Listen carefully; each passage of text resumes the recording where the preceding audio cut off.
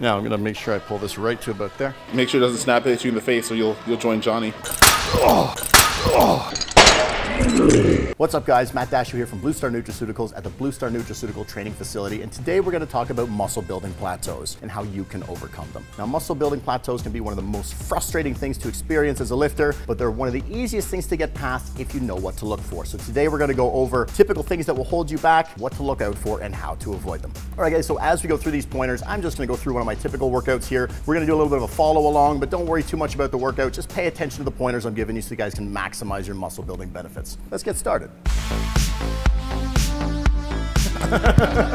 All right, guys, so one of the first things and probably most important things that you can think of when you're working out is to employ something called progressive overload. Now, one of the things I want you guys to remember is that your body follows a principle called specific adaptation to impose demands. Now, you don't have to memorize that, but if you keep in mind what it means, that's gonna be one of the most important things you can do throughout your entire training career. Our body is going to adapt to whatever stimulus we impose upon it. So if we're not continuing to challenge the body in such a way that it needs to get bigger and needs to get stronger, straight up it's not going to do that because our body essentially at the end of the day is trying to survive by outputting as little energy as possible. So we have to force it to grow by continuing to employ different progressive overload techniques. So what is progressive overload? It's pretty straightforward. All we're gonna do is continually challenge the body by adding more weight within a specific rep range as we continue to do our program. So for example, if I had three sets of eight to 10 reps in my prescribed program, I would pick a weight that I could probably do 10 reps on the first set, nine reps on the second, maybe eight reps on the third. The next workout, I'm gonna use the same weight and I'm gonna continue to use that same weight until I get all three sets with a fully prescribed amount of weights. At that point, I'm going to increase the weight. Why? Because now my body is too strong for that weight and I need to continue to force it to adapt and force it to get stronger by picking a heavier weight. So that's pretty much the straightforward way to look at progressive overload. So if you're picking the same sets, reps, and weights the entire time, always when you work out, it's probably one of the main reasons why you're plateauing. So make sure to progressively overload your workouts on a regular basis. What are you staring at? Huh? You staring at me? Don't blame you.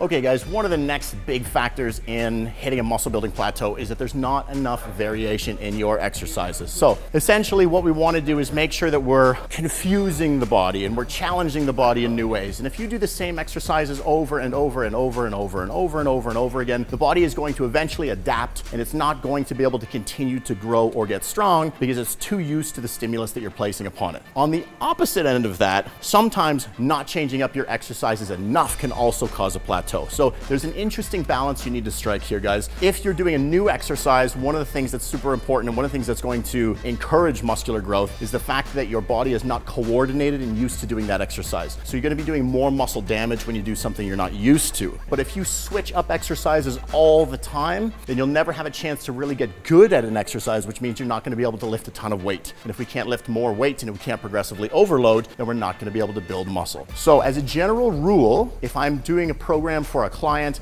I like to switch things up anywhere from four to eight weeks. And usually that's for novelty. But if it's just for myself, I'm gonna continue to use an exercise and a set and rep strategy until I'm no longer getting gains from it. At which point I'll change things up. Depends on your personality type and what you really like. Sometimes people need that novelty to keep them going. Sometimes people like more repetition to keep them going so they get good at something. So that's gonna depend upon you. But at the end of the day, as long as you're changing something up within that, I would say four to eight week range, you're gonna be in the good books. If you change things up more frequently than that, chances are you're not getting enough exposure to that particular exercise to get very good at it. And if you're not getting very good at it, you won't be able to lift much weight. You won't be able to challenge the body to new growth. So keep that in mind.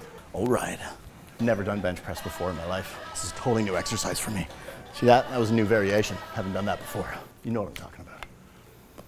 All right, guys. Now, the next point is rest and recovery or overtraining. Frequently, people will be pushing themselves too much. They'll be hitting the gym too much. They'll be giving their muscles too much stimulus and not enough time to adapt, essentially, where they'll be breaking their muscles down too much. So you want to keep in mind that overtraining is a thing. It will definitely lead to muscle building plateaus. And if you're not getting enough sleep in between training days, rest in between training days for certain muscle groups, then you are going to be slowing down your muscle building progress. So how much sleep and rest do we need? You want to make sure you're getting at least seven to nine nine hours of good quality sleep each night. And I say good quality because you wanna make sure that you're actually getting a deep sleep. Being on your cell phone, your laptop, being on the TV, drinking caffeine past noon. All of these things are gonna make it very hard for you to get a good quality sleep. And if you're not getting a good quality sleep, you're not recovering. One of my favorite supplements to use is GH Peak because every single time I take that, if I take it an hour before bed, I sleep like a baby and I wake up feeling like a million bucks. So something to consider. Um, and in between workouts, you wanna make sure you're getting at least two to three days of recovery per muscle group, okay? So if you're hitting a muscle group three, four, five times a week, you're probably overtraining that muscle group, okay? So you should not be training any muscle groups more than maybe three times a week max. Something to keep in mind.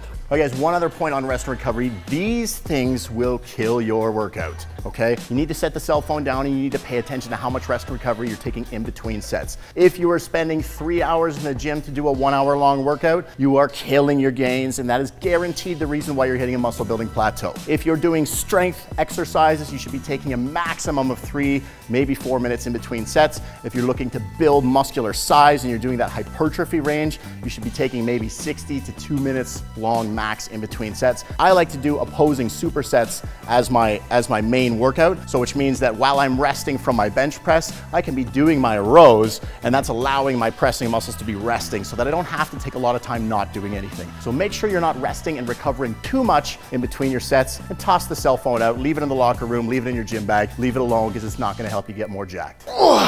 All right, guys, one of the other things that can be a major contributor to a muscle building plateau is poor nutrition. One of the biggest things I see holding people back, whether it be friends, clients, people that have been in the business for a long time, or people that are just starting, is that they don't eat enough whole foods, okay? You cannot build a house without bricks and mortar, so you need to make sure you're eating enough. Just as a quick reminder, I would recommend getting at least one gram of protein per pound of body fat, or sorry, body weight, not body fat. That's a little bit trickier. You won't be getting enough protein most likely. You need to make sure you get good healthy carbs, good healthy fats as well. The other thing I want to specify here is that supplementation can be a huge benefit here. So it's not always easy to get enough protein in. It's not always easy to get enough calories in. It's not always easy to get enough micronutrients in in a day. And if you're struggling with that stuff, then a supplement strategy is convenient, it's cost effective, and it can speed up your results and help you to break through that muscle building plateau. So Blue Star, one of my favorites is Iso Smooth. Probably something that I'm having two to three times a day a lot of days because frankly, I'm working my butt off all the time and I can't eat six chicken breasts a day. So this a simple supplement strategy there for you guys, but nutrition is gonna be one of the most important things, so keep that in mind.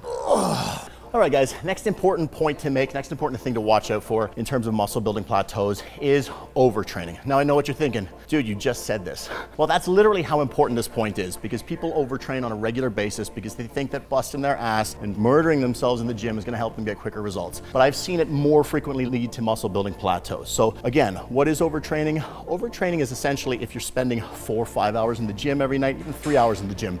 Typically, an hour to an hour and a half is gonna be more than enough for your muscle building goals. It's also if you're never taking a rest day. So if you're training seven days a week, every week, never taking a rest day, never doing recovery workouts, you're gonna end up overtraining. What are some signs and symptoms? We've talked about this in another video, but if your mood is becoming more depressed, if your energy levels are consistently going down, if you're getting weaker instead of stronger in your workouts, if you're not putting on size, if you can't sleep, these are some signs and symptoms of overtraining. So make sure you keep that in mind. It's one of the most important points. And if you're trying to build muscle, overtraining is a no-go. All right, guys, I got a special bonus tip here for you. And yes, I said that on purpose because one of the biggest things that can cause a muscle building plateau is doing what I refer to as bro splits. Now, you might have heard about these before, you might not have, but typically they don't really work well for most people because they just don't provide enough stimulus for you to continue to grow muscle. So a bro split, essentially you're gonna be working one muscle group every workout, essentially once per week. And again, if you were paying attention earlier, I was saying that you need to hit most muscle groups two to three times a week, not really much more than that, but you certainly don't want to go any less than that. So stay away from bro workouts. They look cool in magazines. Some of the big, huge guys you see do them, but they only really work for certain types of people in certain types of situations. And for the average person, it will lead to a muscle building plateau. So stay away from bro splits. Ugh. All right, guys, so that's it for my video today. Again, we were talking about muscle building plateaus and how to overcome them. Make sure you employ these tips, guys. Again, at the end of the day, we want you to get big. We want you to get strong. We want it to happen fast, but we also want you to train hard and be consistent, okay? If you guys enjoyed this video, please hit like and subscribe. If you have any comments, if you can think about anything I missed, please enter it in the comments section. I love getting comments and interacting with you guys. I always really appreciate it. Outside of that, guys, train hard and stay strong. All right, guys, thank you for joining us for another Blue Star Nutraceuticals training video. And remember, if you want to continue to build muscle and burn fat, we've got awesome content here and here. And if you hit the subscribe button right here, I promise you we'll be putting out two videos every single week that'll help you reach your muscle building goals.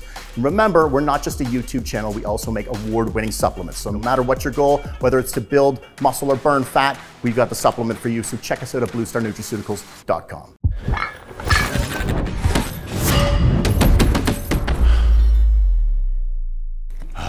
Filming. Ah.